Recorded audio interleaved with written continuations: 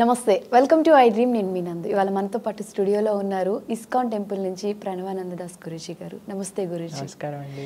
గురుజీ ఎలా ఉన్నారు? బాగున్నా మీరు ఎలా నేను ఉన్నారు కూడా చాలా బాగున్నాను. గురుజీ మరణం అనేది దైవ నిర్ణయం నిర్ణయం అని అంటారు. మరి మరణం దైవ నిర్ణయం అయినప్పుడు చాలామంది బలవంతంగా సూసైడ్ చేసుకోవడం ఇలాంటివి కూడా జరుగుతాయి. సో అది కూడా దై దైవ నిర్ణయం అని అనుకోవచ్చు? యాక్చువల్గా అండి దైవ నిర్ణయం ఏంటి అని అంటే మనకు ఒక జీవితాన్ని ఇవ్వడం స్వామి నిర్ణయిస్తారు. దేనివల్ల నిర్ణయిస్తారు అని అంటే ఆయన అంతటా ఆయన ఓ నువ్వు ఇలా ఉండాలి నువ్వు ఈ కలర్లో ఉండాలి నువ్వు ఇలా హెయిర్ ఉండాలి అని నిర్ణయించరు. మన యొక్క పూర్వజన్మ సుకృతం లేదా ఫలం ఏదైతే ఉంటుందో దాన్ని బట్టి మెటీరియల్ నేచర్ మనకు ఒక శరీరాన్ని ఇస్తుంది. నువ్వు ఇలా ఉంటావు నువ్వు ఇలా ఉంటావు అని మనకి ఇస్తుంది అనమాట ఇప్పుడు చూడండి భగవంతుడు రాసేది ఏంటి? చాలా మంది అంటారు అంతా భగవంతుడు చేస్తున్నప్పుడు ఇంకా మనం ఎందుకు చేయాలి? ఏంటి కూడా? కాబట్టి చెడు కూడా భగవంతుడే చేస్తున్నాడు కదా మ్మ్. మంచి భగవంతుడు చేయించట్లేదు చెడు భగవంతుడు చేయించట్లేదు మ్మ్. ఒక ఆపర్చునిటీని మనకి ఇస్తున్నారు. For example. నాకు ఈ ఫోన్ వస్తుంది అని భగవంతుడు రాశారనుకోండి ఈ ఫోన్లో నేను ప్రవచనం వింటానా లేదా ఇంకేదైనా చెడు పని చేస్తానా అది నా చేతుల్లో ఉంది.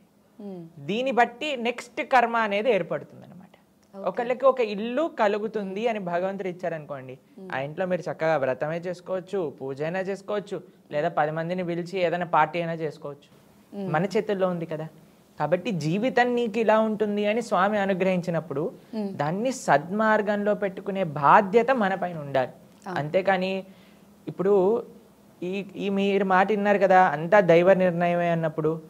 కాబట్టి మనకి గుర్తు పెట్టుకోవాల్సింది ఏంటి అని అంటే మనకి శరీరాన్ని తీసుకునే అర్హత మనకి లేదు. ఎందుకంటే ఈ శరీరం నీది కాదు భగవంతుడిది అని గుర్తించినాం. అవును. ఇప్పుడు చూడండి వేరే వాళ్ళు మనకి కారు నడుపుకోవడానికి ఇచ్చారనుకోండి మనం తీసుకెళ్ళి యాక్సిడెంట్ చేసేస్తామా. ఎంతో జాగ్రత్తగా ఉండాలి. ఎందుకంటే మనది కాదు అని తెలిసినప్పుడు. అలానే మన శరీరం మన జన్మ అంతా కూడా భగవంతుడు మనకు అనుగ్రహించింది. కాబట్టి మనం ఎంతో జాగ్రత్తగా స్వామి అనుగ్రహించారు అనే విషయాన్ని మనం గుర్తుపెట్టుకొని ఈ జీవితాన్ని అంత పవిత్రంగా మనం ఉంచుకోవాలన్నమాట. అప్పుడే మనకి అనుగ్రహం వస్తుంది. మీకు ఒక విషయం చెప్తాను. శాస్త్రంలో సూసైడ్ మీరు అన్నట్టుగా అది అన్నిటికంటే గొప్ప చాలా పెద్ద మహాపాపం కింద లెక్కించారనమాట. ఎవరైనా సూసైడ్ చేసుకుంటే ఏ పాపంతో అయితే సూసైడ్ అంటే ఏ కష్టంతో చాలా మంది చెప్తుంటారు కదా కష్టం వల్ల అని. అది కొన్ని లక్షల కోట్ల రెట్లు అయ్యి మళ్ళీ మన దగ్గరికి వస్తుంది. కాబట్టి ఇప్పుడు అనుభవిస్తావా? మళ్ళీ దాన్ని అన్ని లక్షల కోట్ల రెట్లు అయ్యాక మళ్ళీ దాన్ని ఫేస్ చేయగలుగుతావా అనేది గుర్తుపెట్టుకోవాలి. కాబట్టి అస్సలు అంటే అసలు సూసైడ్ అనే ప్రస్తావన మన మనసులోకి రాకూడదు. ఎందుకో మీకు ఒక విషయం చెప్తాను. ఇప్పుడు మనకి ఒక ఒక ఈ కష్టం ఉందండి మాకు అని అనుకుంటారు. ప్రతి ఒక్కళ్ళ జీవితంలో కష్టాలు వస్తాయి కదండి. ఎవరైనా చెప్తారా? కష్టం లేకుండా మేము మొత్తం పుట్టినప్పటి నుంచి హ్యాపీగా ఉన్నాం పుట్టంగానే ఏడుస్తామా. కాబట్టి ఈ ప్రపంచం దుఃఖాలయం అశాశ్వతం అని అంటారనమాట ఇక్కడ ఈ nothing is permanent in this world everything is temporary. ఒక విషయం అంటే ఏదైనా సరే మనం టెంపరీ నేచర్ మనం ఈ ప్రపంచంలో చూస్తుంటాం అనమాట ఒక రిలేషన్షిప్ టెంపరీ ఇప్పుడు నేను బెస్ట్ ఫ్రెండ్ అంటారు. మళ్ళీ వచ్చే సెమిస్టర్కి వాడు వీడు మాట్లాడుకోరు అనమాట అవును. లేదా ఎక్కడైనా మనం ఉంటున్న ఒక ప్రదేశంలో ఉంటున్నాం. ఇక్కడ ఇప్పుడు నేను హైదరాబాద్లో ఉంటున్నాను అనుకున్నాను. తర్వాత నేను చెన్నై చదువుకోవడానికి వెళ్ళిపోయా. దాని తర్వాత ముంబైలో ఆశ్రమంలో ఉంటున్నా. కాబట్టి nothing is టెం permanent in this world అనమాట కానీ ఎప్పుడైతే ఆ పర్మనెంట్గా మనం అనుకుంటూ ఉన్నామో ఎప్పుడైతే చేంజ్ వస్తుందో అప్పుడు మనకి మనసులో బాధ కంగారు భయం అనేది కలుగుతూ ఉంటుందన్నమాట. అవును. కానీ ఇది జస్ట్ టెంపరీ ఏది టెంపరీ కానప్పుడు ఈ కష్టం కూడా టెంపరీ కాదు. అర్థమవుతుంది కదా మీకు? ఏది టెంపరీ కాదన్నప్పుడు సుఖము టెంపరీ ఏ అలా అని ఇది కష్టము కూడా టెంపరీ ఇది గుర్తుపెట్టుకోవాలి మనం ఎప్పుడైనా సరే. కాబట్టి ఎప్పుడైతే మనకి సుఖం ఎలా వచ్చి మనం ఆనందంగా ఉన్నామో అలానే దుఃఖం కూడా వస్తుంది కొన్ని రోజుల తర్వాత దుఃఖం కూడా పోతుంది. కానీ దానికి మనం అడ్వర్స్ అవ్వాల్సిన అవసరం లేదు. మ్మ్. వచ్చినప్పుడు బాధ వేస్తుంది ఒప్పుకుంటాను కానీ కొద్దిగా మనం ఓపిక పట్టుకోవాలంటే ఆ, గురుజీ ఆ, చాలా మంది దేవాలయాలు అంటే ముఖ్యంగా ఎక్కువ డొనేషన్లు వస్తున్నాయి అదొక బిజినెస్ లా అయిపోయింది అని అంటారు. అసలు దీన్ని మనం ఎలా తీసుకోవచ్చు? అంటే దేవాలయాలకు వచ్చే ఫండ్స్ కానివ్వండి ఇవి ఒక ఆధ్యాత్మికంగా మనం డెవలప్ అవుతుంది అనుకోవచ్చా? లేకపోతే ఇది ఒక బిజినెస్ అని అంటారు. భగవంతుడికి మనం మన యొక్క సంపాదనలో భగవత్ సేవగా భగవంతుడి యొక్క సేవ అంటే ఇప్పుడు చూడండి ఆలయంలో సపోజ్ మా ఆశ్రమానికి ఎవరైనా డొనేషన్ ఇచ్చారనుకోండి దాన్ని మేము. ఎలా యూజ్ చేస్తాం? గోవులకి యూజ్ చేస్తాం. వంద పైగా గోవులు ఉన్నాయి అక్కడ. ఆ గోసేవకి యూజ్ చేస్తాం. లేదు భగవంతుడి యొక్క ఆరాధన ఒక వ్యవస్థ ఆలయ వ్యవస్థ అంటే భగవంతుడికి నైవేద్యాలు అలంకరణలు ఉత్సవాలు ఎన్ని కావాలి? తర్వాత వచ్చిన భక్తులందరికీ ప్రసాదాలు పెట్టాలి. దాంతోపాటు మా ఆశ్రమంలో ముంబైలో ఏదైతే మా మేము ఎక్కడైతే ఉంటామో గోవర్ధనికి విలేజ్లో అక్కడ నుంచి ప్ర చుట్టుపక్కల ఉండే గ్రామాలలో ఆదివాసీ తాండాలలో ఎవ్వరు కూడా ఆకలితో పడుకోకూడదు అనే ఒక మనం ఒక సంకల్పం చేసుకున్నాం అనమాట కాబట్టి వచ్చిన డొనేషన్లన్నీ కూడా వాళ్ళందరికీ ఫ్రీగా ప్రసాదాన్ని పంచిపెట్టడంలో తర్వాత ఎంత పెద్ద వ్యవస్థ ఆలయాన్ని మెయింటైన్ చేయటం ఒకళ్ళు ఇంట్లో అండి నలుగురు ఉన్న ఇంటికి ఎంత ఖర్చు అవుతుందండి ఇప్పుడు చెప్పండి? నెల తిరిగేసరికి ఎంత ఖర్చు అవుతుంది నలుగురు ఉన్నారు ఒక ఇంట్లో అంటే. అలాంటిది ఒక ఆలయం అని అంటే వందల వేల మంది ఇన్వాల్వ్ అయిన ఒక వ్యవస్థ. దానికి ఉండడానికి మనం తప్పకుండా కానీ మీకు ఒక విషయం చెప్తాను. ఆలయంలోకి వచ్చే డబ్బులు ఆలయానికి ఖర్చు పెడుతున్నారా అంటే పర్వాలేదు. అంతేకాని ఆలయంలో హుండీలో ఉండే డబ్బులన్నీ తీసుకెళ్ళి మీరు వేరే వాళ్ళకి ఖర్చు పెట్టేస్తామండి వేరే వాళ్ళని మంచిగా పెట్టడానికి వేరే మతాలకి ఇచ్చేస్తాము తర్వాత గవర్నమెంట్ ఏవో వాడేసుకుంటుంది అని అంటే అలా మంచిది కాదండి. ఆలయానికి భక్తులు ప్రేమతో భగవంతుడికి ఇచ్చిన కానుకలు ఏవైతే ఉన్నాయో అవి ఆలయం రక్షణ ధర్మ పరిరక్షణ ధర్మ ప్రచారం గోసేవ. వీటిలో ఉపయోగపడితే చాలా సంతోషం. అవును. సో అంటే చాలా మంది దాన్ని మిస్యూజ్ చేయడం వల్ల అందరికి ఒక అపోహ ఉండిపోతుంది. అందుకే అండి మన ఆలయం ఆలయ పూజారి ఆలయ వ్యవస్థ అక్కడే ఉండాలి. గవర్నమెంట్కి హక్కు లేదు. గవర్నమెంట్ నేను హుండీలో వచ్చిన డబ్బులన్నీ మేము తీసేసుకుంటాము మేము మా సంక్షేమ పథకాలు వాడుకుంటాము అని అంటే కేవలం ఆలయం ఎందుకు? మరి మిగతా మతాలకి సంబంధించిన తీర్థ ప్రదేశాల నుంచి లేదా వాళ్ళకి సంబంధించిన ఏవైతే ఆధ్యాత్మిక స్థలాలు ఉన్నాయో అక్కడ నుంచి ఎందుకు తీసుకోరు? కేవలం మన దగ్గర నుంచి ఎందుకు తీసుకుంటున్నారు. కాబట్టి ఆలయం ఎవరైతే ఆలయాన్ని చూసుకుంటున్నారో వాళ్ళ చేతిలో ఉండాలి. ఓకే. ఇప్పుడు మన ఇల్లు ఉందండి. మన ఇంటిని తీసుకెళ్ళి ఇప్పుడు మన ఇంట్లో వచ్చే డబ్బులన్నీ గవర్నమెంట్ నేను తీసేసుకుంటాను అని అంటే బాగుంటుందా? అలా ఎవరు ఇంటిని పరిరక్షిస్తున్నారో ఎవరైతే ఇంటి యొక్క బాగోగులు చూస్తున్నారో వాళ్ళ చేతుల్లో ఉండాలి. కాబట్టి అలానే ఆలయం ఆలయ పూజారి ఆలయ కమిటీ ఏదైతే ఉందో ఎవరైతే ఆ విగ్రహ ఆ స్వామి ఎవరైతే ఉన్నారో ఆలయంలో వాళ్ళ పట్ల ప్రేమ భక్తి ఉన్న వాళ్ళ దగ్గర ఉండాలి. అంతేకాని ఏదో ఒక పోస్ట్ లాగా పెట్టేసాం అనుకోండి మనం అప్పుడు ఏమవుతుంది అని అంటే is just doing is mechanical duty అలా ఉండకూడదు. ప్రేమతో ఆలయాన్ని సంరక్షించే వాళ్ళ చేతిలో డబ్బులు ఉన్నాయనుకోండి వాళ్ళు ఆ ధర్మ పరిరక్షణకై ఉపయోగించుకోవాలి. గురుజీ చాలా మంది నేను దేవుణ్ణి నమ్మను ప్రకృతిని మాత్రమే నమ్ముతాను అని కొంతమంది ఉంటారు. అటువంటి వాళ్ళకి అసలు మీరు ఏం సమాధానం ప్రకృతి ఎవరిచ్చారండి? మీరు తయారు చేసుకున్నారా? దేవుడిచ్చిందే కదా. మరి. దేవుడిచ్చిన ప్రకృతియే ఇంత మంచి చేస్తున్నప్పుడు ఇప్పుడు చూడండి మనకు ఒక చాక్లెట్ ఇస్తారు ఎవరైనా. ఏం చేస్తాం మనం వెంటనే? థ్యాంక్ యూ అని అంట. అంతేనా? మరి ఇంత చక్కటి ప్రకృతిని మనకి ఇచ్చిన స్వామిని మర్చిపోతారు. చాలా మంది ఏమంటారు తెలుసా? మాకు అమ్మ నానే దైవము అని అంటారు. మరి అమ్మ నాన్నల్ని ఇచ్చిన వాడు ఎంత గొప్పవాడు. ప్రకృతి గొప్పది.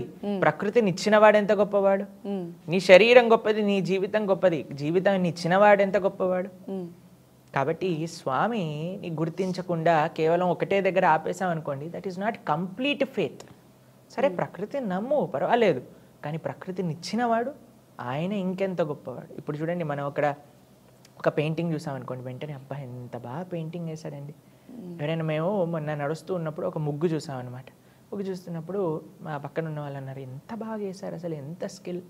ఏదన్నా సుందరమైన వస్తువుని చూడంగానే మనకి ఏమనిపిస్తుందండి ఎవరు దీన్ని తయారు చేసిన వాళ్ళు. లేదా ఇంట్లో ఎవరైనా మనం ఎవరైనా స్వీట్ తిన్నాం అనుకోండి గులాబ్ జామున్ అమ్మా ఎవరు చేశారమ్మా?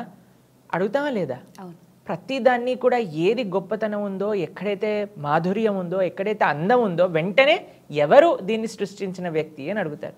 ఈ సౌందర్యమైన ఈ ప్రకృతిని చూసినప్పుడు ఎంత అద్భుతమైన ఈ ప్రకృతిని చూసినప్పుడు మనకి వచ్చే క్వశ్చన్ ఏంటి? ఎవరు ఈ ప్రకృతిని తయారు చేశారు అదే భగవంతుడు.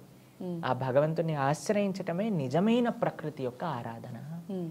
ఎవరైతే భగవంతుని ఆశ్రయిస్తారో వాళ్ళు ప్రకృతిలో ఏ జీవరాశిని కూడా ఇబ్బంది పెట్టాలి అని అనుకోరు. ప్రకృతిని నాశనం చేయాలి అనే బుద్ధి భగవద్భక్తులలో ఉండదన్నమాట. కాబట్టి అందుకే మన శాస్త్రం complete wholesome way of respecting ప్రకృతి ఈజ్ రెస్పెక్టింగ్ గాడ్. ఆ విధంగా ఉపదేశం చేశారు. గురుజీ ఇప్పుడు చాలా వృద్ధాశ్రమాలు ఎక్కువగా పెరిగిపోతూ ఉన్నాయి. అంటే చిన్నప్పుడు పిల్లల్ని ఎంత ప్రేమగా పెంచిన పేరెంట్స్ పెద్ద అయిన తర్వాత పిల్లల దగ్గర నుంచి ఆ ప్రేమను పొందలేకపోతున్నారు. అంటే పెళ్ళయి ఒక సెపరేట్ లైఫ్ రాగానే పేరెంట్స్ని మర్చిపోతున్నారు. అంటే అసలు ఇప్పుడున్న జనరేషన్లో పిల్లల్ని ఎలా పెంచాలి అంటే? కేవలం ప్రేమతో పెంచటం ముఖ్యం కాదండి. బాధ్యతగా పెంచటం ముఖ్యం. ధార్మికంగా పెంచటం ముఖ్యం. మనకి ఈ మధ్య చాలా మంది తల్లిదండ్రులు మాకు ఫోన్ చేసి మా పిల్లలు మా మాట వినట్లేదండి అని అంటారు. ఎందుకు అని అంటే గారాభం ఎక్కువగా అయిపోయింది. ఎందుకంటే చిన్న పిల్లవాడు మేము చూస్తామండి చిన్న చిన్న పిల్లలు. వాళ్ళకి ఫోన్లో ఎలా యూట్యూబ్ ఆన్ చేయొచ్చు ఎలా పాస్వర్డ్ తీయొచ్చు ఎలా వాళ్ళకి కావాల్సింది సెలెక్ట్ చేసుకొని చూడొచ్చు గేమ్స్ డౌన్లోడ్ చేసుకోవచ్చు ఎలా ఆడొచ్చు ఎలా పేమెంట్స్ చేయొచ్చు మొత్తం తెలుస్తాయి. కాబట్టి చిన్నప్పటి నుంచి మనకి వాళ్ళకి ఒక బ్యాడ్ ఎక్స్పోజర్. ఏదో మనం ప్రశాంతంగా ఉంటాం. చాలా మంది ఏం చేస్తారో తెలుసా అండి? ఇప్పుడు ఫోన్ ఇచ్చేస్తే వాడు వాడి గోల్లో ఉంటారు మేము ప్రశాంతంగా ఉండొచ్చు అని అనుకుంటారు. కానీ అది పిల్లల్ని పాడు చేస్తుంది. ఇది చాలా జాగ్రత్తగా అందరూ గుర్తుపెట్టుకోవాల్సిన విషయం ఏంటి అని అంటే కేవలం పిల్లల్ని పెంచటం కాదండి ధార్మికంగా పెంచటం. ఎలాంటి విత్తనం మనం నాటుతామో అలాంటి మొక్కే వస్తుంది. కాబట్టి మొక్క పెరిగాక ఓ నా కాకరకాయ వద్దు అని అంటే కాకరకాయ విత్తనం వేసావు నువ్వు మరి కాకరకాయ చెట్టు వస్తుంది కదా? పెద్దగయ్యాక అందరూ వృద్ధాశ్రమాల్లో పంపించేస్తున్నారంటే మరి మీరు చిన్నప్పటి నుంచి నేర్పించింది ఏంటి? రాముడి గురించి చెప్పారా? కృష్ణుడి గురించి చెప్పారా? అంటే లేదండి మేము అంతా కూడా సినిమాలలో ఆ హీరో ఈ హీరో గురించి చెప్పాము. అని అన్నప్పుడు వాళ్ళు మళ్ళీ అలానే తయారవుతారు కదా.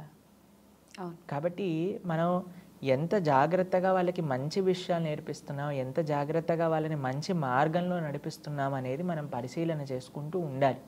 అప్పుడే మనకి పెద్దగయ్యాక పిల్లలకి ఎప్పుడైతే రామకృష్ణుల గురించి తెలుసుకుంటారో అండి అప్పుడు వాళ్ళకి there is no chance.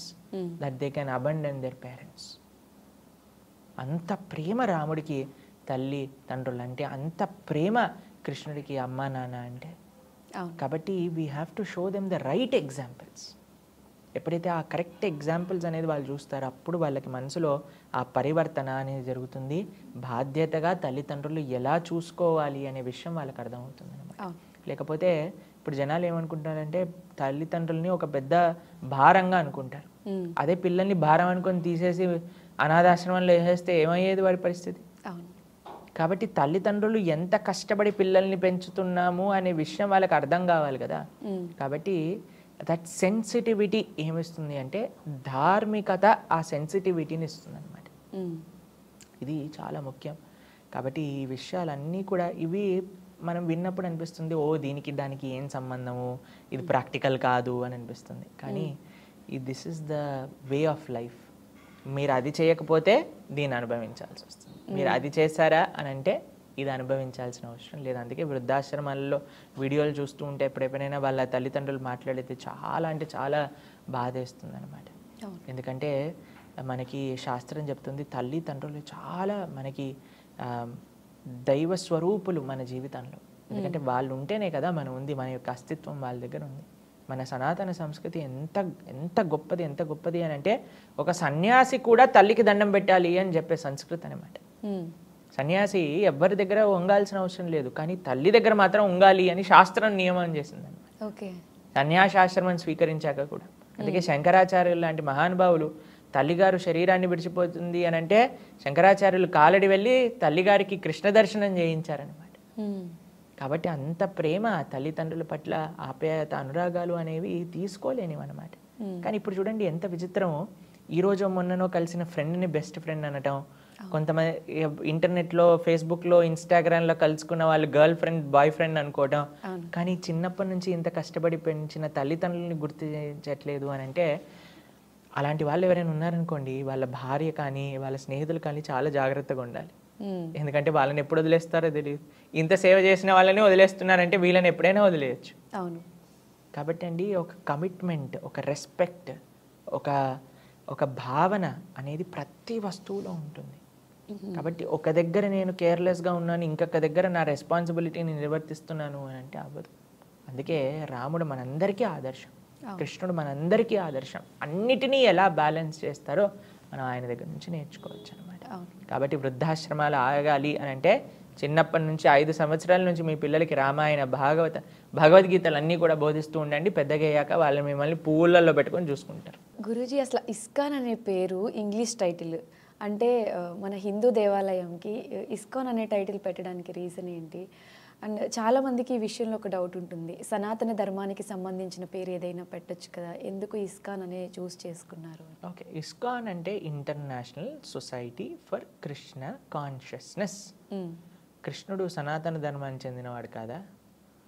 అసలు అన్నిటికంటే ముఖ్యమైన విషయం అంటే సనాతన ధర్మం కేవలం భారతీయులదేనా హక్కు? ప్రపంచంలో ఉండే మిగతా వాళ్ళు కాదా?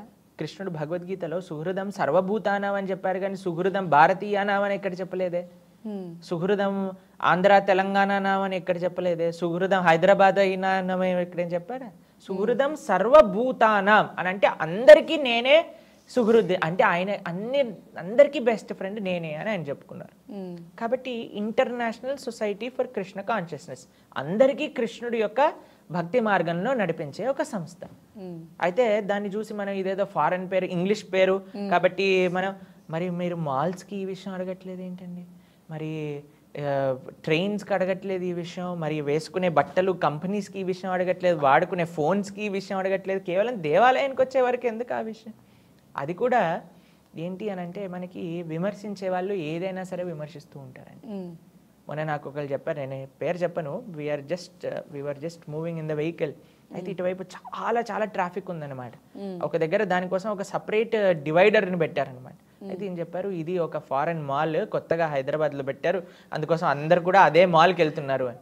అచ్చా అయితే నువ్వు మాల్ ఏ దేశం వాడు పెట్టినా సరే వెళ్తావా? ఆలయానికి మాత్రం వెళ్ళవా?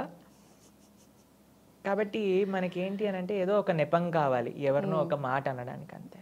కానీ శ్రీల ప్రభుపాదుల వారు భారతదేశంలో అవతరించిన వారు భారతీయ సనాతన సంస్కృతిని అటు తీసుకెళ్ళి విదేశీయులకి ఎలా చీర కట్టుకోవాలో చూపించి ఎలా ధోతి కుర్తా వేసుకోవాలో చూపించి ఎలా తిలకం పెట్టుకోవాలో చూపించి ఎలా శిఖ జడ ఎలా వేసుకోవాలో చూపించి భారతీయ సంస్కృతిని అటు ట్రాన్స్ఫర్ చేసిన మహానుభావులు శ్రీల ప్రభుపాదుల వారు అనమాట.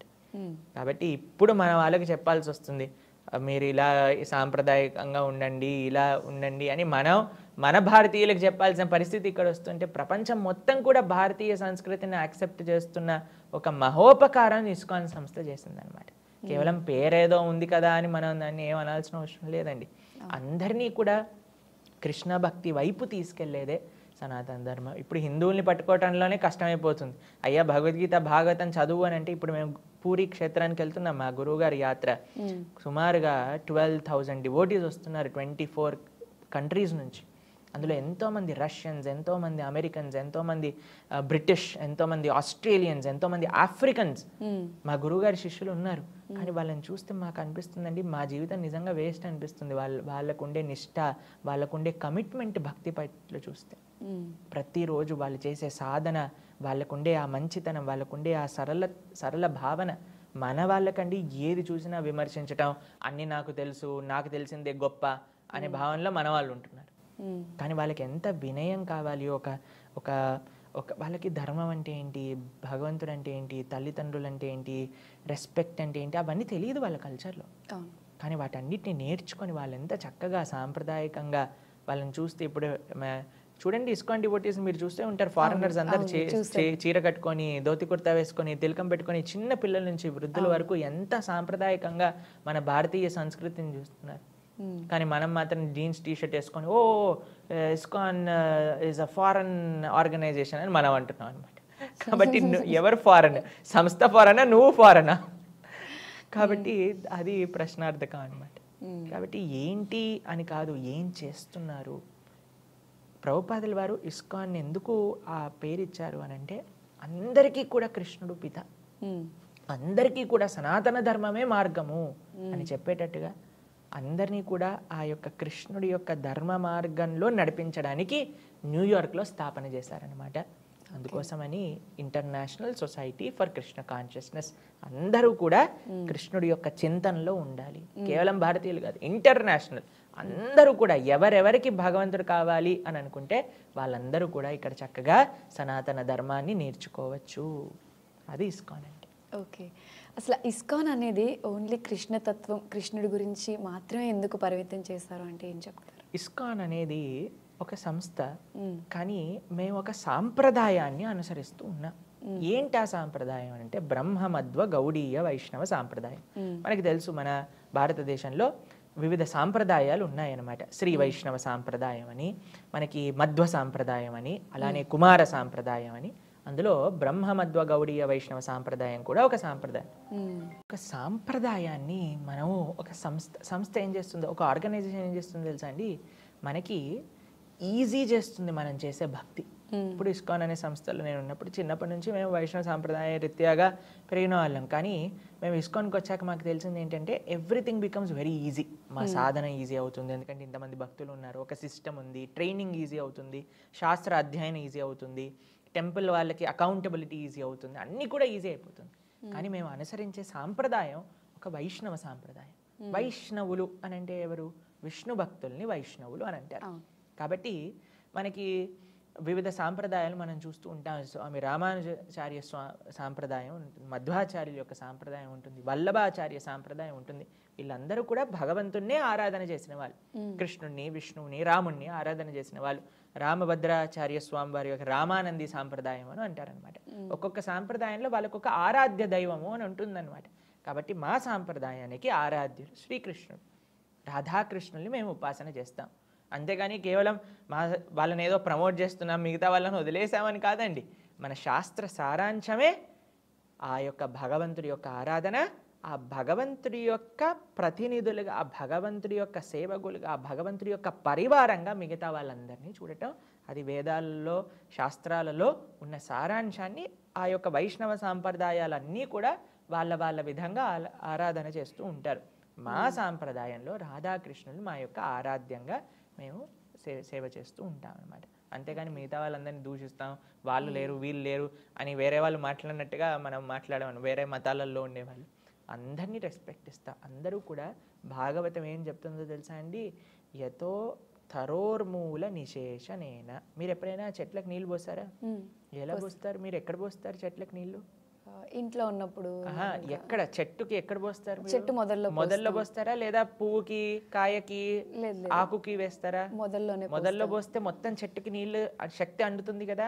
అలానే ఆ భగవంతుడి యొక్క సేవ చేస్తే మిగతా దేవీ దేవతలందరి సేవ కూడా ఆ సేవలోనే కలుగుతుంది అని భాగవతం మనకు ఉపదేశం చేస్తుంది అనమాట అందుకే మనం భగవంతుడి యొక్క సేవ చేస్తాం. మిగతా దేవి దేవతలందరికీ కూడా ఆ భగవంతుడి యొక్క పరికరాలే కాబట్టి అందరికీ ఆ యొక్క సేవ అనేది లభిస్తుంది కాబట్టి ఎవరిని మనం వదిలేయట్లేదు.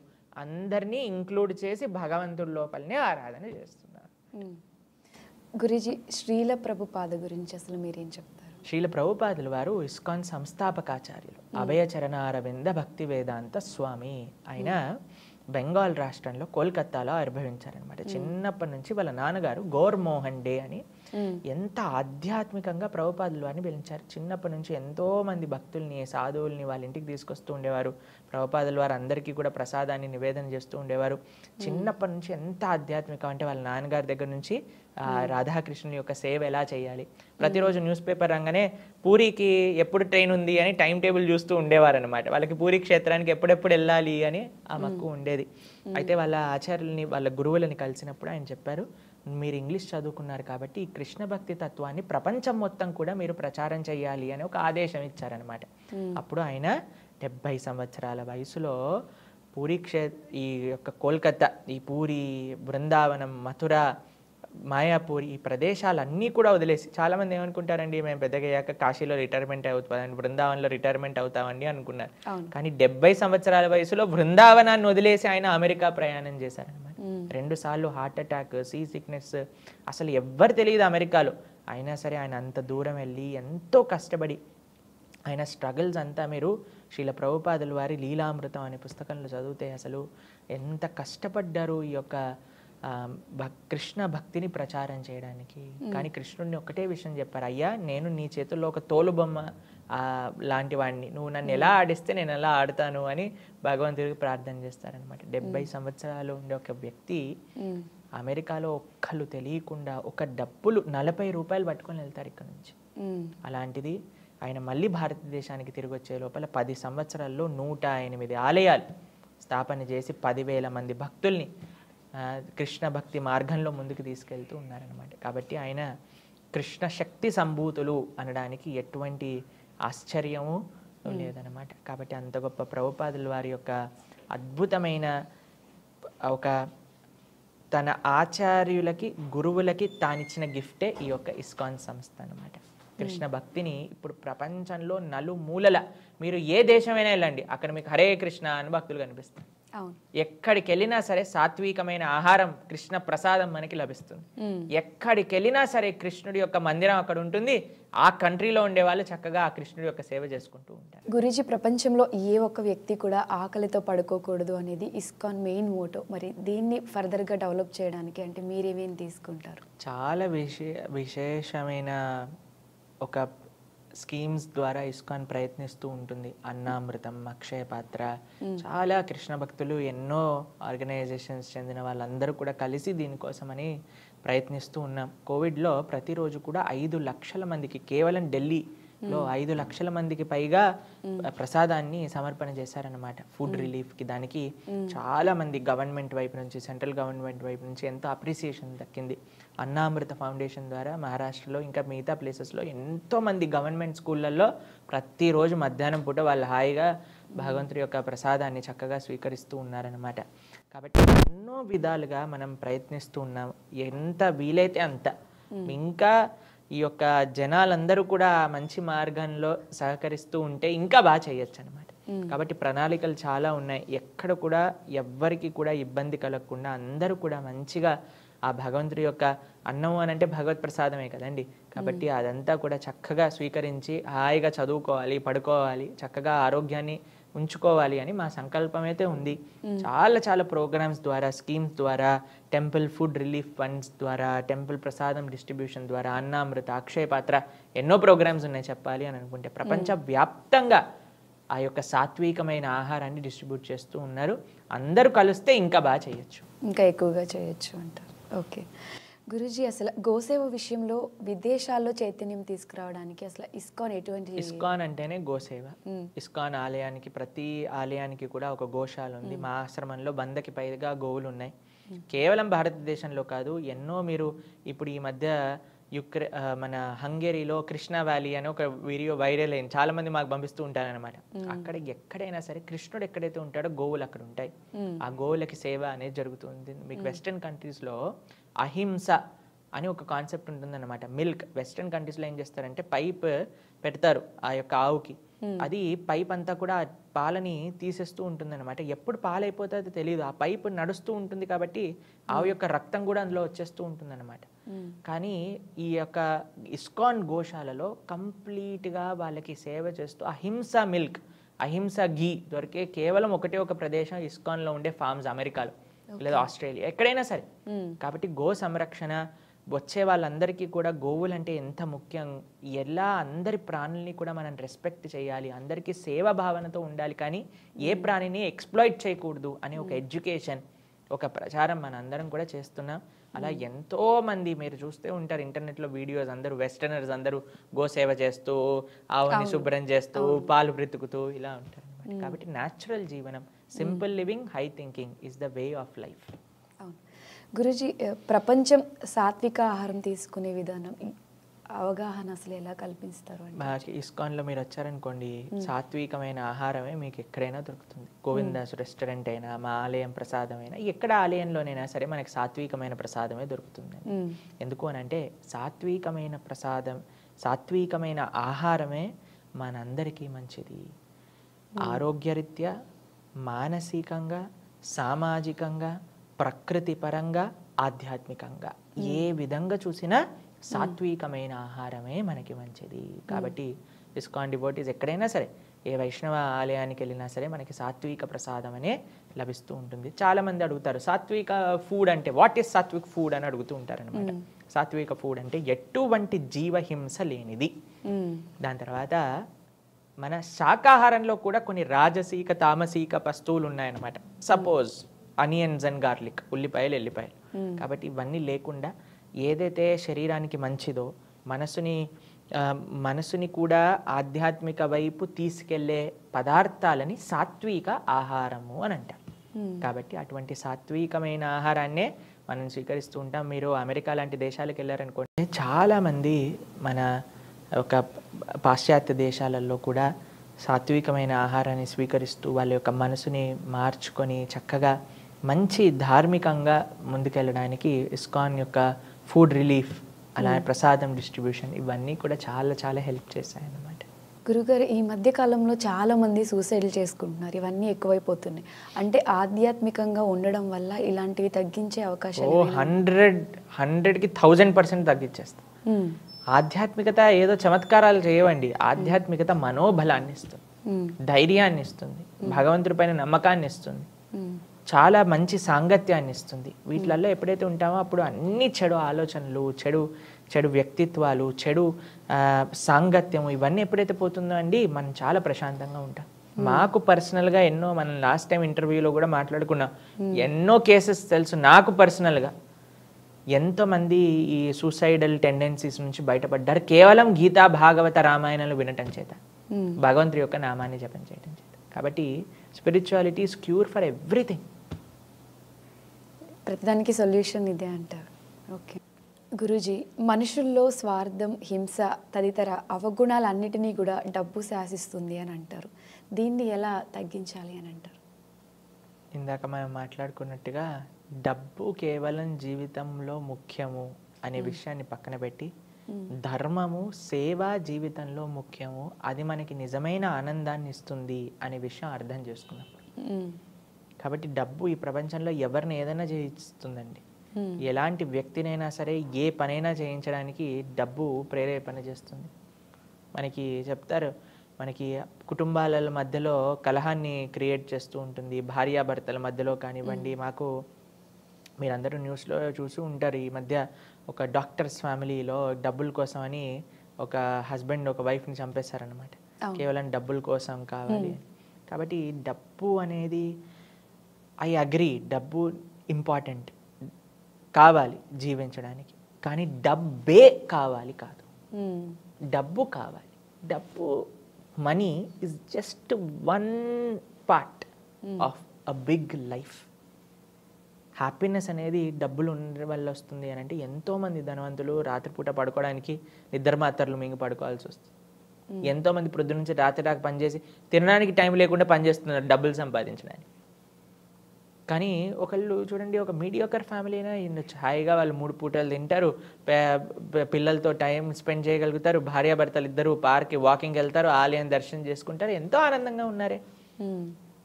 కాబట్టి ఆనందం డబ్బు ఈ రెండు వేరే వేరే.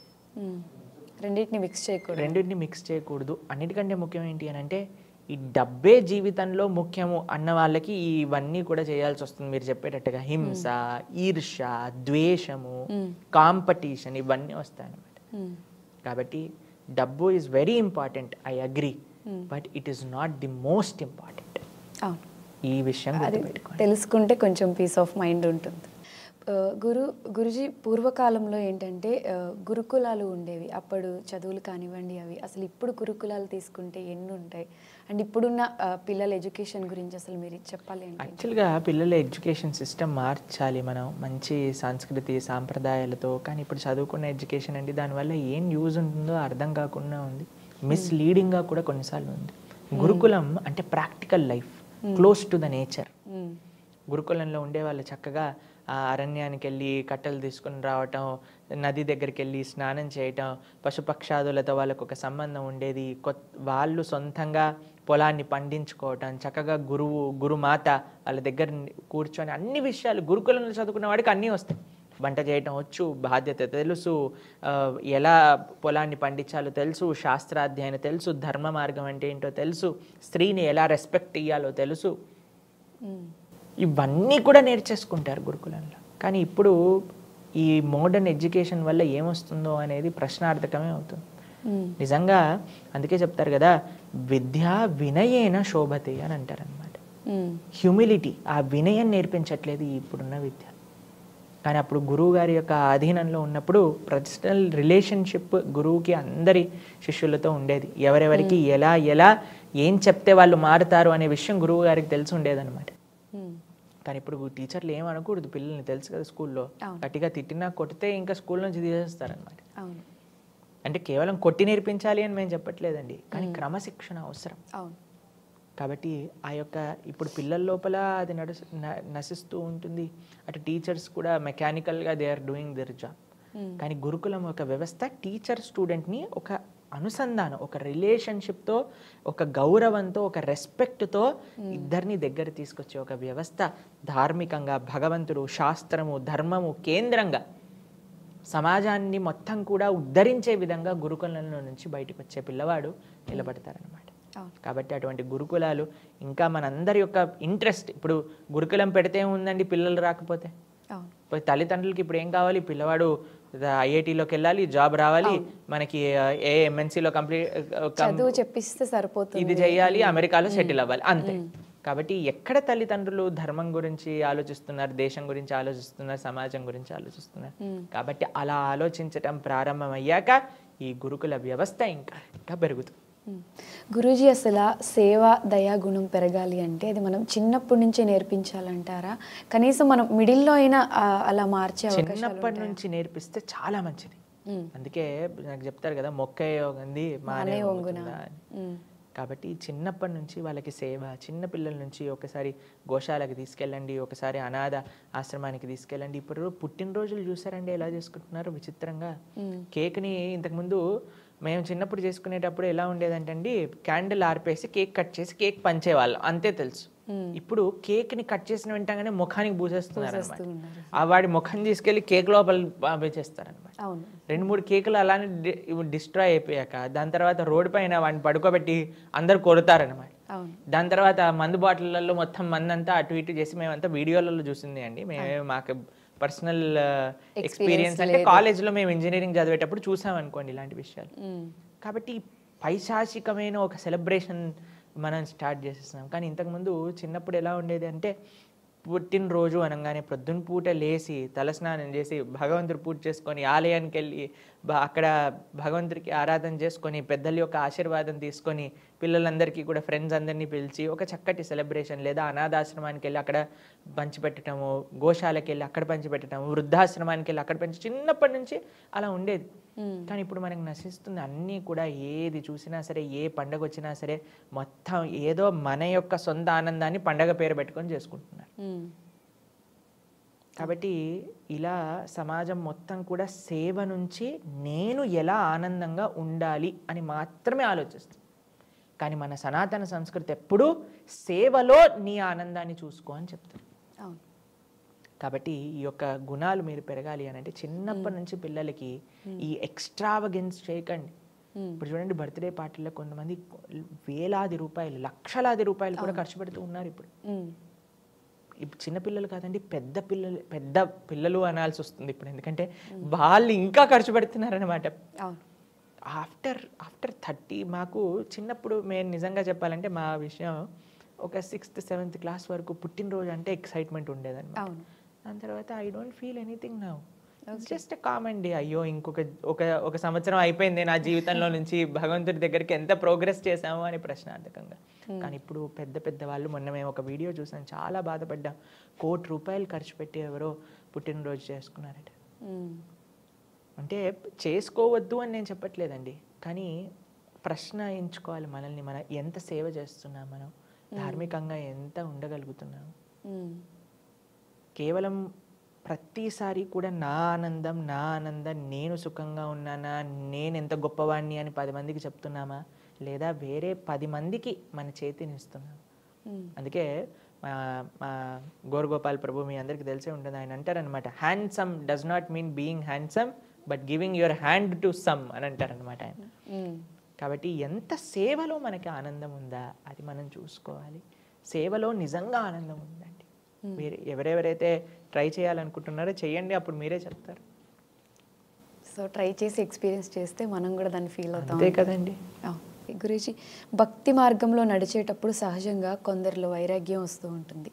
సో వివాహ బంధాలపై అంతగా ప్రీతి ఉండదు. ఇది ఇలానే కొనసాగితే సనాతన ధర్మంపై చూపే ప్రభావం అసలు ఎలా ఉంటుంది అని మీకు విషయం చెప్తానండి. మ్. మనం ఇది మాట్లాడుకోవడానికి బాగుంటుంది కానీ చాలా మంది అలా అనుకోరు. ఎంత ఆధ్యాత్మికంగా ఉన్నా సరే పెళ్ళి చేసుకోవాలి అని అనుకుంటారు.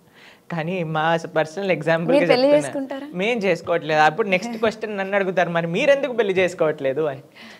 మాకు చిన్నప్పటి నుంచి చాలా చిన్నప్పటి నుంచి మాకు మాకు ఎప్పుడైనా సరే మా ఈ ఒక్క జన్మని భగవంతుడికి అర్పణ చేయాలి అనే భావన ఉండేదన్నమాట.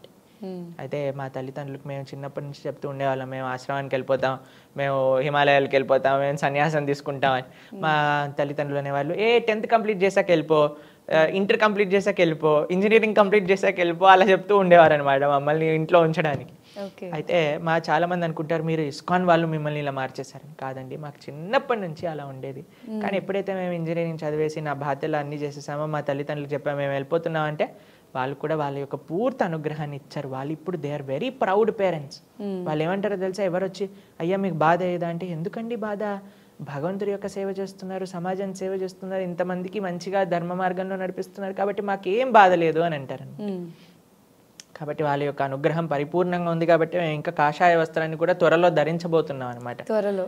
మా అమ్మ నాన్నగారి అనుగ్రహం పూర్తిగా ఉంది. మా నాన్నగారు అన్నారనమాట ఎప్పుడు నువ్వు కాషాయ వస్త్రాన్ని ధరిస్తావు? ఎన్ని రోజులు వైట్లో ఉంటావు? అని అడుగుతున్నారనమాట బేసిక్గా ఇంత చిన్న ఏజ్లో పెళ్ళెప్పుడు చేసుకుంటావు అని అడుగుతారు చాలా మంది పేరెంట్స్. అంటారు కానీ మా నాన్నగారు అమ్మగారు మేము చేసే సేవ వాళ్ళ యొక్క అనుగ్రహం వాళ్ళ పూర్తి ఆశీస్సులు ఉన్నాయి కాబట్టి మేము ఈ విధంగా సేవ చేయగలుగుతాం. లేకపోతే నేను కూడా ఈ సమయానికి ఆఫీస్లో ఉండి పనిచేస్తూ ఉండేవాడినేమో. కానీ ఇంత చిన్న ఏజ్లో అసలు మీలా ఆలోచించడం అనేది నేను లాస్ట్ వీడియోలో కూడా చెప్పాను. అసలు చాలా అప్రిషియేట్ చేయొచ్చు మిమ్మల్ని. అంతే భగవత్ అనుగ్రహం ఆచార్యులు గురువుల యొక్క అనుగ్రహం మా తల్లిదండ్రుల యొక్క అనుగ్రహం.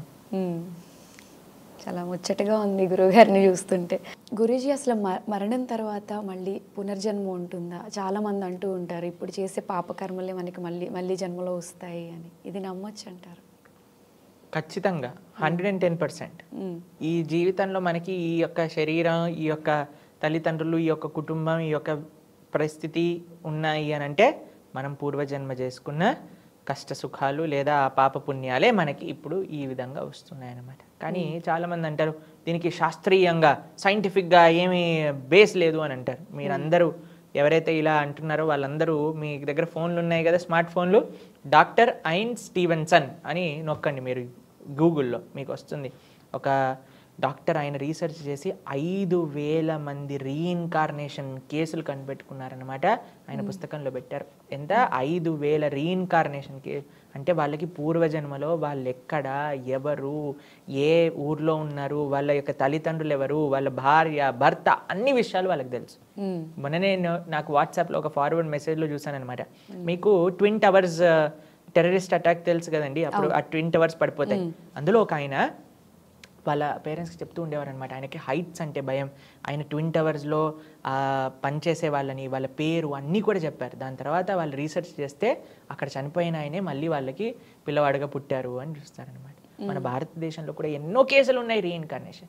కాబట్టి ఈ డాక్టర్ ఐన్ స్టీవెన్సన్ రీసెర్చ్ మీద నేను రీఇన్కార్నేషన్ ఉందని చెప్పట్లేదు. కృష్ణుడు భగవద్గీతలో చెప్పారు దాదస్సి ధ్రువముత్తు ధ్రువముత్తు.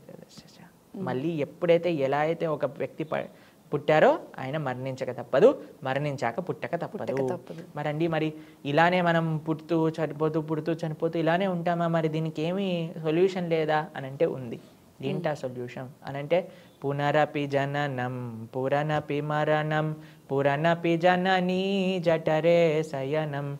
ఇహ సంసారే బహుదుస్తారే ఇహ సంసారే బహుదుస్తారే కృపయా పారే పాహి మురారే. భజ గోవిందం భజ గోవిందం.